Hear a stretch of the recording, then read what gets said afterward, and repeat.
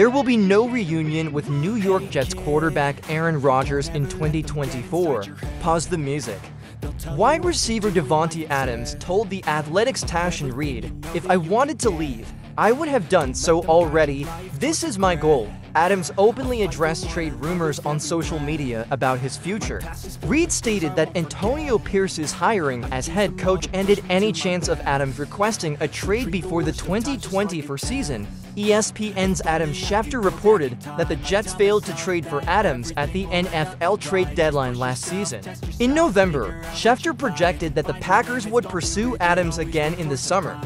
The Jets are seeking additional offensive weapons after signing veteran wideout Mike Williams for one year. Head coach Robert Saleh stated at the annual league meeting that Williams still has to recuperate from a damaged ACL. Although he will miss most of the training camp, the team hopes he will be ready for week one. They